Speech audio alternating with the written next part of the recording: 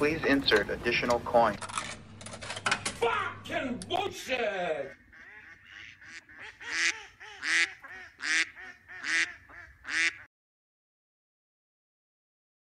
Laughing. At Birds. I don't I don't know if this is gonna work. I don't know if this is gonna work. There is no audio being picked up in OBS right now. What does that mean? That means that later on, if this goes properly, what I'm gonna have to do is I'm gonna have to take this video and match up with the audio in the video editor, right? So I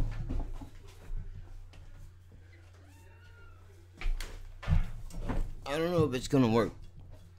I don't know if it's gonna work, but we're gonna try. So I'm gonna get into this. I got a couple of things I gotta do today. First of all, let's start off with this right here. Can you see it? Look, merch is available. Okay, this is one design. I got another one back here that is being worked on. Look, pretty cool, man. So here's what we're doing. I had tees for 25. I'm dropping the price down to 10 because I need money. Because I need money and because it's a pandemic right now. I know people don't really have money to blow on shit they don't really need. So we'll drop the price down to 10 bucks for the t-shirts. The long sleeves like this one will be 30 and hoodies will be 50. Custom designs can be done. Everything is hand painted by an independent artist as well as myself. I'm trying. I'm fucking up a couple t-shirts here and there, so, you know, working on it. Anyway, this is a couple of days ago. BCHQ did a reaction for Wu Block's Crack Spot stories. And I honestly thought he was going to like it, but he didn't and uh, I think uh, part of it is because, like he stated, sure the negative, negative shit, whatever. It's called crack spot stories. It's not. That's not a place where you find a whole lot of positivity. Usually, I don't think that's always the case, but I think a lot of the reason why you don't like this song is because there's stuff that you missed. Not because you're stupid or because you weren't paying attention, but because very fast paced, it's from a different country. You know, when I listen to British rappers or, you know, rappers out of the UK, like uh, Jess has been heavy in my rotation lately. I don't, I don't need to lie to nobody.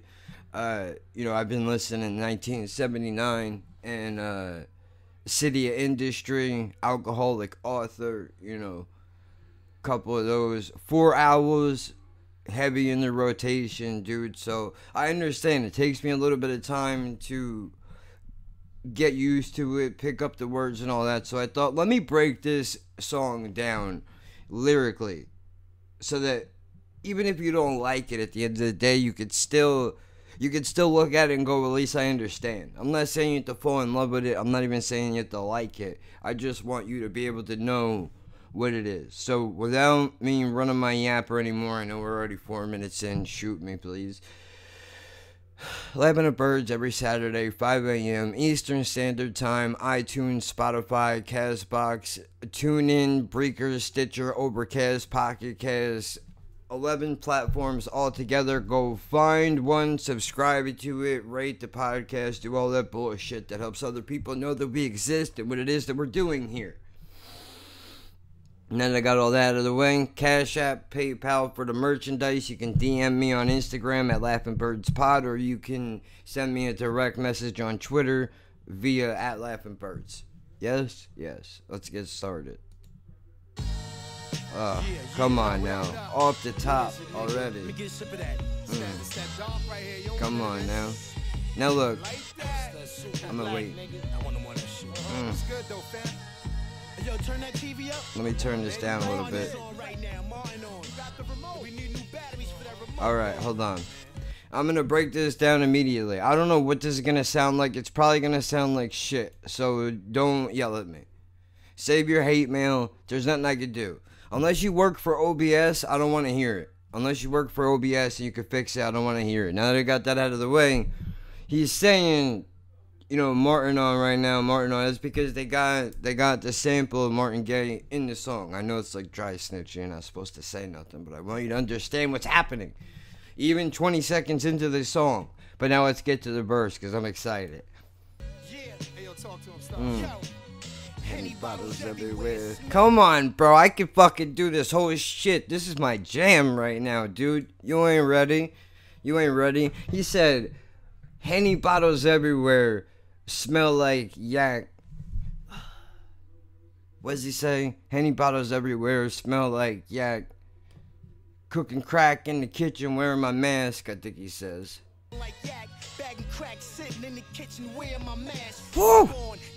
Hold on, hold on, hold on. Stop it. Let me bring it all the way back for a moment. He said, Henny bottles everywhere. Smells like yak. Bagging up crank in the kitchen, wearing my mask. Now, here's why that's dope for a couple reasons. First of all, we're in the middle of a pandemic and everybody is wearing masks, right? So that's cool right off the dick tip. Here's what's even cooler about it. You don't hear when people do drugs, bro, when people make drugs, I mean, I've seen the documentaries. I've lived in a crack house. I know what goes on. I never did crack, so fuck you for assuming, okay? There's a bad point in my life. I needed a place to live, so that's where I was at. It doesn't mean that I was, you know, whatever. It's a whole different. I, I could talk about that another time. Anyway, you don't hear things like this. I'm cook I'm bagging crack, but I'm wearing my mask because I want to protect myself as much as I can from breathing in these terrible fumes so I don't get addicted to it. You know what I mean? Like that's you don't hear that a lot in rap music. So I think that deserves credit in and of itself right there. Just because of how authentic it is. One slipper on Brookstone cushion in them bar numbers. Okay, here we go. Yo, kiss your Ray. Yo, yo, yo. Tell a yellow bitch I got next. Black, bagging crack, sitting Hold in on. the kitchen wearing my mask. Mhm. Hope on, tailor made in Italy, new Gucci denim. Mm. One slipper on Brookstone cushion in them bar number seven, hugging my neck. All right, now I don't know what bar number seven is. Uh, bottle number seven. I haven't had a drink in a couple of years. I'm not sober. Like I'm not saying that because I want you to applaud me. Uh, I take thyroid medicine, so I'm, I can't drink. It interacts with the medicine, but alcohol turns me into a horrible human being anyway, so it, it doesn't matter. But now he's he's gone from I'm in the kitchen, I'm telling you what I'm doing, to now I'm painting you the picture of I'm sitting in my robe, I got expensive slippers on, I'm sipping on a bottle of number seven, and then he says, "Tell a yellow bitch I got next." I'm assuming he's talking about Coronas, but I don't, I don't know. Yo, kiss your Ray. Yo, yo, yo. Tell a yellow bitch I got next. Hmm. She fucking with robbers. The one in here, pussy sore like Tasha's. This is Come on. Crumbs hitting the floor. Crumbs hitting the floor, fiends clicking their big lighters with Garfield eyeballs pulling them all nighters. Ah! Stop it. Stop it. You don't know. You don't know how legit that is, dude. I've seen it. They don't have souls anymore. They're gone. They're not people. They're statues of who they once were and what they represented. Now they're just a drug. They just exist. It's fucking dark, man. Now, I mean, of course, you know, eh, the bragging that goes along with rap music. Like, there's two. Why I like Pusha T, bro, is this guy has made it a point to say, yeah, I fucking sold drugs, dude. And I'm not proud of it. I did what I had to do to survive, and I feel terrible that you know I would have. Sometimes I had to sell to a fucking a pregnant bitch. Like I don't, I didn't want to do that, but the baby's gonna be born addicted anyway, so what difference does it make if I sell it or somebody else is gonna make the money? I need the money. So I understand I understand both sides of the argument, but it's dark, bro. Fiends clicking they big lighters with Garfield mm. eyeballs. Pulling them all nighters. Mm. Give me 50 push ups. Give y'all a little piece. Faggots did a dime. Niggas Too weak. For fun, shove a Suzy Q in they face. All right. Let them smoke a rock with cake on their head in the gate. Alright, now I'm assuming he's talking about jail. For fun, shove a Susie Q in their face. I don't know what that is. He's Staten Island, I'm Jersey, I'm not street. I'm not gonna sit here and lie to nobody. I don't know everything about everything, right?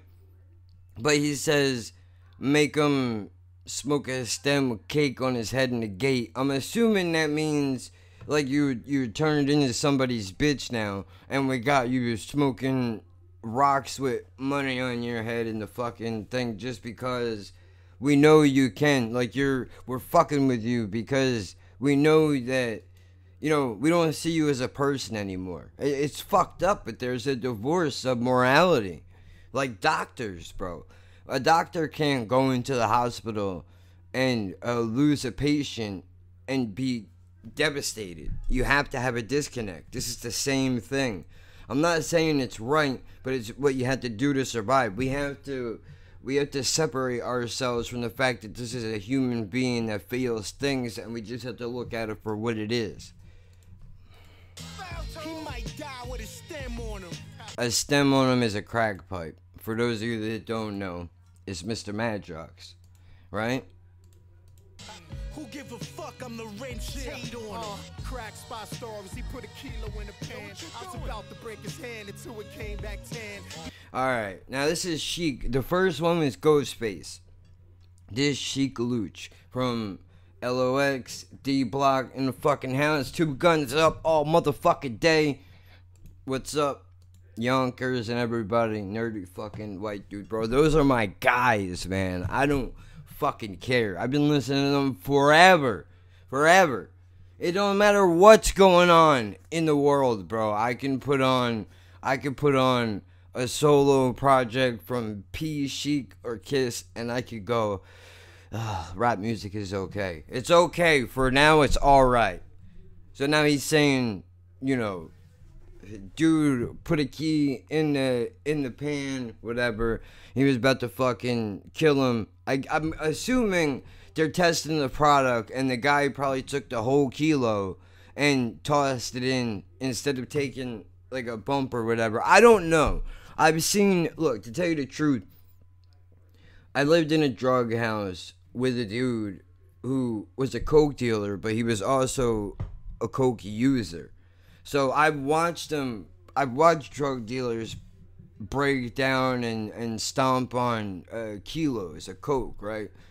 You know, mixing it with the baby powder or laxative or whatever. Like I've seen that part of it, but I don't. I don't know what the rest of all that means. I've I've watched a cook up rocks and shit. Like I've seen how that stuff works, but I don't. It's a very dark world, bro, and there was so much going on. I honestly, I was just worried about like, if the cops kicking the door right now, I'm going to jail for a long time, and this is not like I'm a. I smoke a little weed, dude. I don't not anymore. I'm t- at this time, like I don't. I don't do. I don't do crack. I mean, I did try coke which, I mean, whatever. We're getting into the fucking thing, dude. Dancing around the stove, stalks chilling in his robe. My hard knock life, I could have wrote that for. Uh. Shorty, give me a ginger ale and Dutch master. That's right. Fact, hand me the phone. I'm about to order Caspers. all right, now he says, give me a ginger ale and Dutch masters. Well, first of all, it better be Canada Dry and the Honey Dutch Masters, bro. Don't fuck around. If there's no Dutch Master, you may substitute with the game, although preferably I like white papers, a little easier on the lungs, but you know, I smoked a lot of Dutches in my day, dude. I could roll a fucking Dutch like a motherfucker, bro. So he's saying my hard knock life, I could have wrote that for Hove. In other words, like I'm living the same life he wrote it, but I could have wrote that album because I did the same shit. That's what he means. And he says, "Give me the phone about to order Casper's," which I'm assuming is a steakhouse. I don't know why. I would assume something like that. I've never heard of it. Again, I'm I'm in New Jersey and I'm broke, dude. I'm a fucking welfare case. I don't know nothing about expensive food, so I couldn't afford to park in a Whole Foods parking lot. Never mind go shopping inside. Fiends at the door, I'm too lazy to let them in. Turkey sandwich, barbecue chips, ESPN. Oh, that kills me though. To tell you the truth, the drug dealer inside of me, that makes me mad. What do you mean you're too lazy to let him in? There's money at the door, motherfucker. You should be motivated always. I know. I know. Dude, I get it. I've been that's what got me a Bro, I'm telling you. Don't You know what? You know what? Just forget it. Sitting on the couch, I'm just trying to do the math. She got 10 polo shirts, all she asking for is half. Ah, come on. Stop it. Got a hundred polo shirts. All she asking for is half. She did a hundred dollars. Bootleg polo shirts, bro. You fuck. That's real. This is real rap. This is real life shit. I understand that when you don't got a whole lot of money, but you need to go hit the swap meet or the flea market, and you gotta try to get some bootleg shit that almost looks real, so you can kind of live in the neighborhood, even though they're gonna make fun of you, you know, for wearing bootleg shit. But everybody is in the same shit, so whatever. I mean, I got fucking polo jeans, whatever, like you know the rip off imitation ones. But I mean, I'm not into name brands anymore. Like I had to grow up. You know what I mean? But that's one got shot. No police or none of that. That's how it is in our spot. Yeah. See, that's the other thing too. He said today was a good day. Nobody got shot. No police coming through. That's how it is on our block. Now that's that's a power statement. What he is saying is like I'm controlling. We're controlling the fucking plug, dude. So we make sure there's nobody getting crazy out here. You know, we, everything needs to run smoothly. This is an operation. Like any other operation, we're here to make money, and this business needs to run smoothly. And anybody that's gonna fuck that up is gonna have to answer for it. boys fronting in Rolls Royces. I'm on the iPhone, leg back, examining choices. Two types of coke, we in the bathroom voting. We like take it. Hell, All right, hold on. See, now this this part kind of gets me a little bit. Hold on. Pyrex boys fronting in Rolls Royces.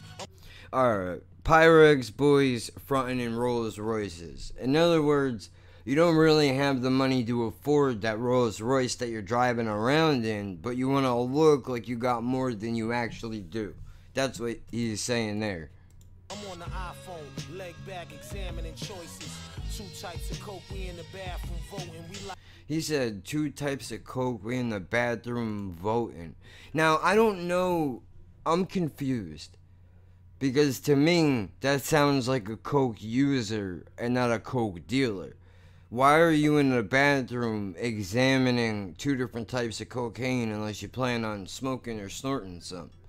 You know what I mean? Like I don't, I don't understand why you would do that in a bathroom unless he's flipping the perspective. Like take it, helicopter waiting, we boating, yo, gangsters to the death of it. helicopter waiting, we voting, yo. Alright, so maybe they're going to pick up, like I got so much money, I'm showing up to the spot in the chopper. But I mean, I'm gonna take my time and make sure I get the right shit. Humbling villains, a good hand chemist in 20 minutes, cake up and finish this for the He said a good hand chemist can bake up and bag it in 20 minutes. In other words, what that means is what I was talking about before.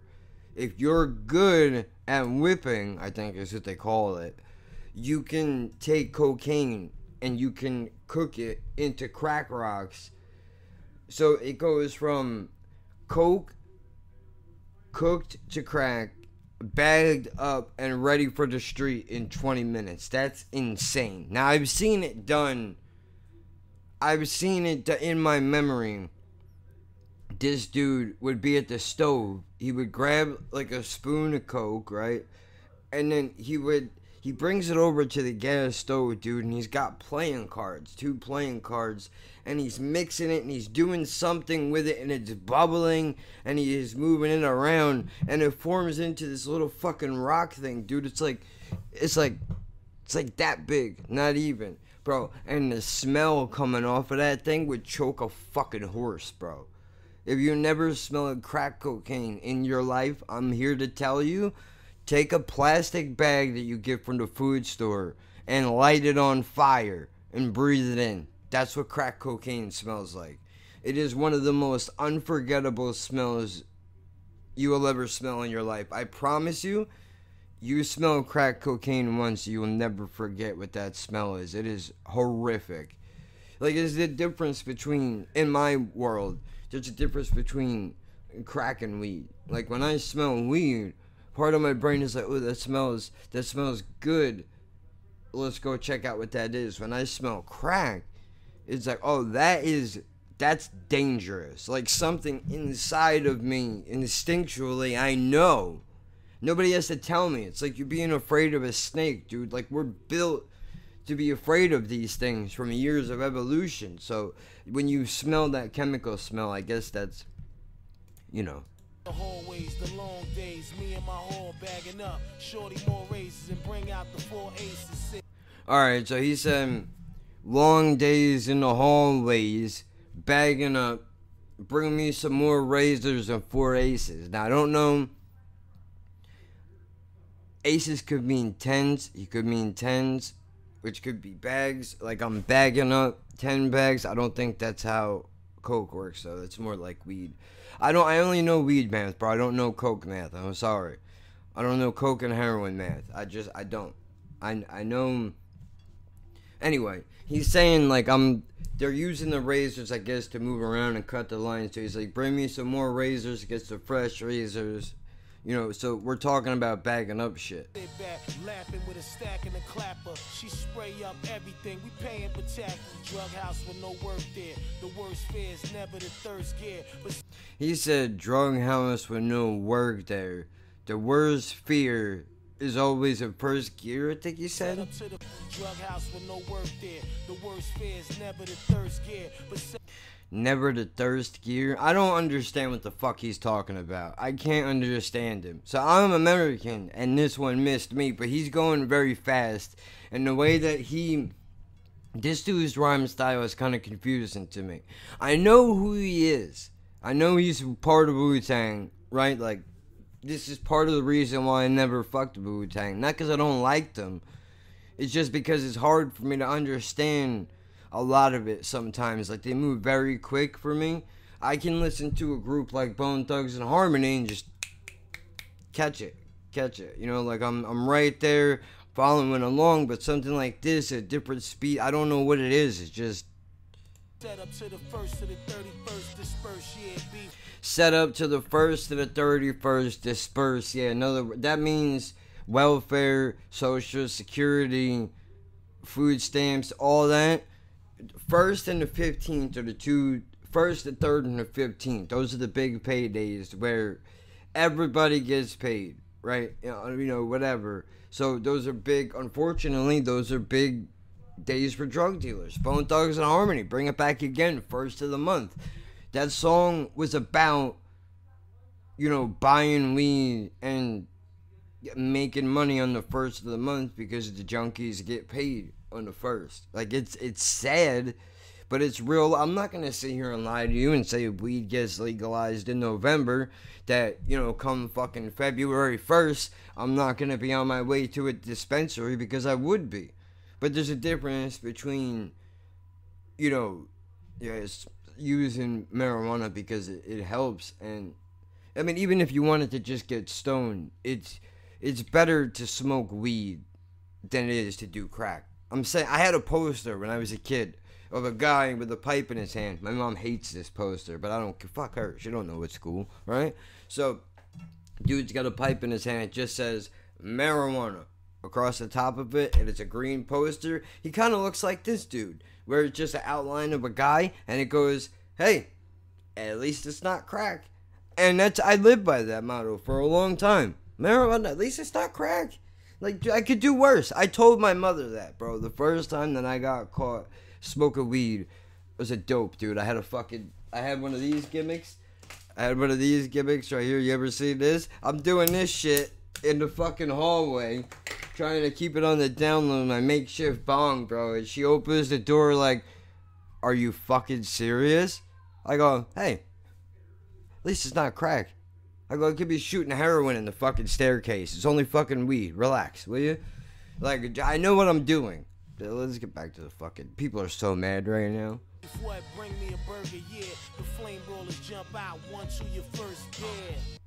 All right, so you know, flame broilers, but in other words, you get, I'll shoot you. So take that over there. Here comes my guy. Stay out of Max We got the trays up in six Yeah. That's usually where the guard be. Me, K, and J Bop, Collie J, and Rod Lee. Yeah. My man, my guys. These are my guys.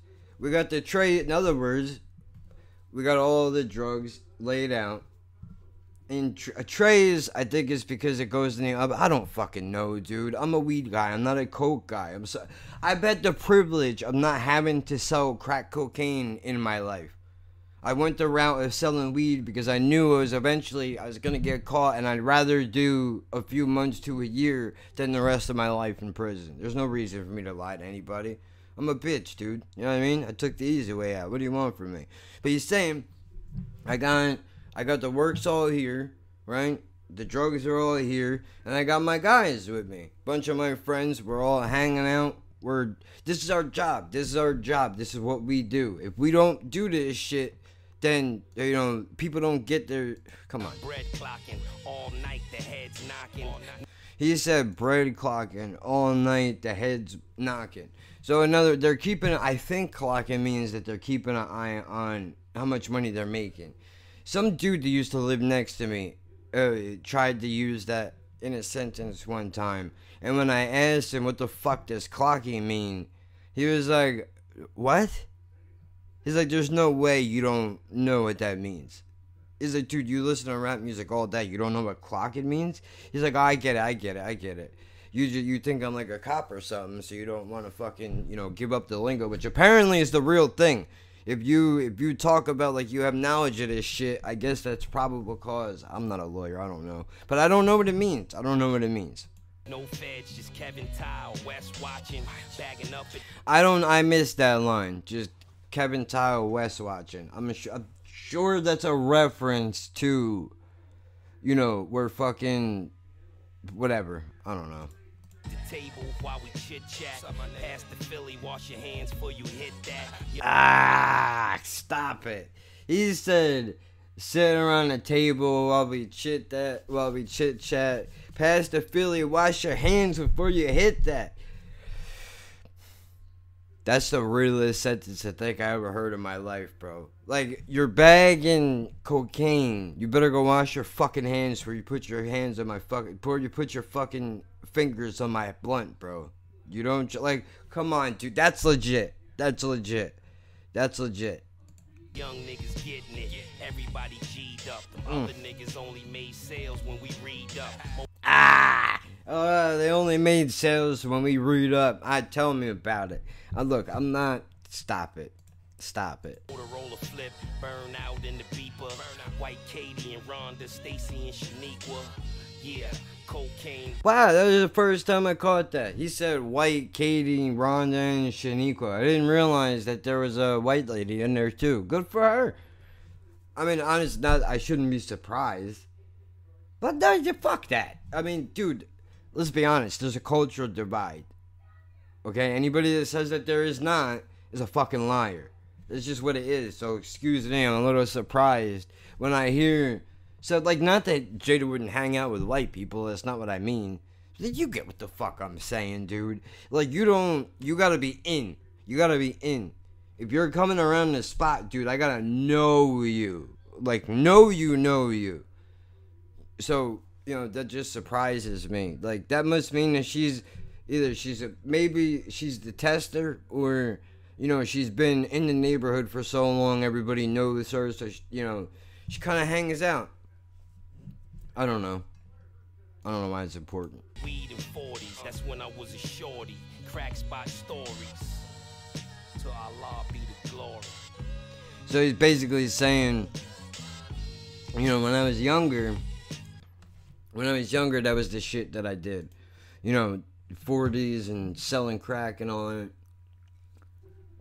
but i've grown up and i've changed my life now a lot of people don't get the opportunity to do that a lot of people don't get the opportunity to change their lives. I understand. I understand. I've seen it on every angle dude. I've seen the drug dealers. I've seen drug users. I've seen it all. Every angle. I mean, from uh, kids uh, being uh, left in in the fucking living room of a just it's just just heartbreaking shit, bro. Heartbreaking shit, dude. And I know you're like, oh, these these fucking cunts. You know what you're selling is poison. But dude, there is. I'm not saying it's right, but there is something to be said for if I don't sell it, somebody else will. So why should I not make a dollar to get by? I'm not saying it's. I'm not saying it's a good thing to do. But don't tell me. There's a line out of, the, of a Geto Boys song where Willie D says, "You could talk the hot shit if you want to, but don't tell me what you won't do." till you're down on your luck and nobody gives a fuck. Bill collectors at your heels. And you know what I mean? Like don't don't tell me what you will and you won't do until you're fucking dead broke really.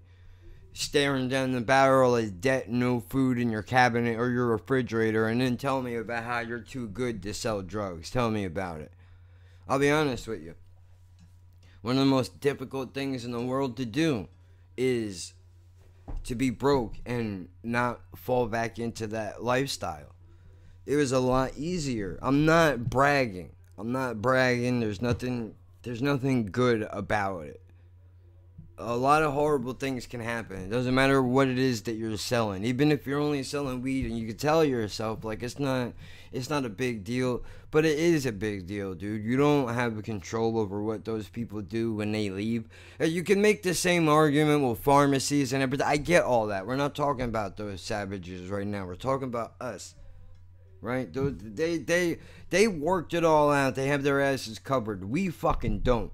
So if some asshole buys a 20 off of me and goes and crashes their car, that's my fault now.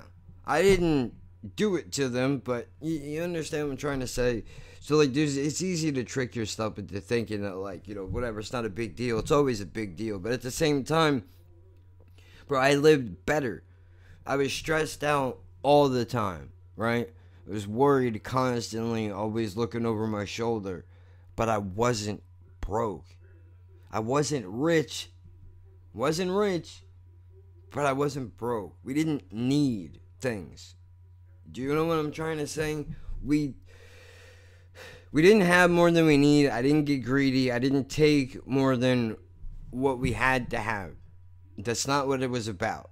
That's not what it was about at all. Well, like I've, I've talked enough. Nobody's gonna fucking Nobody gives a shit about my. Well, no, fuck that. It's a crack spot story. So I'm telling you a fucking story, motherfucker. If you want a fake reaction, then go find some douchebag channel that will dance around in their goddamn mother's living room while they pretend it's the first time they ever heard that song. Looking at you, asshole, with the glasses on that's heard every metal song ever and pretends like you don't know what you're what you're listening to. Meanwhile, you know exactly the cues of when the song gonna start and pause. The fuck off. You and everybody else, bro.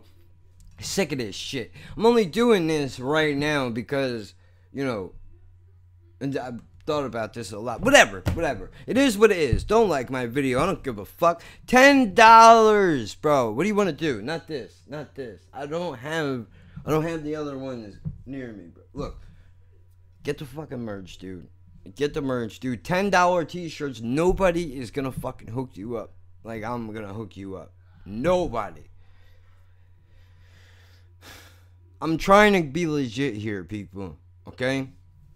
I'm trying to be legit. I understand, dude. I'm like five moves. If I wanted to, if I want, I'm gonna stop talking. I'm gonna stop talking because all I'm gonna do, all I'm gonna do is give myself trouble.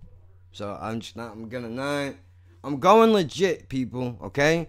I've been, I've been, I behaved for 13 fucking years, and I want to continue to do that. But in order to do that, I need a revenue stream, man. I can't, I can't do this shit.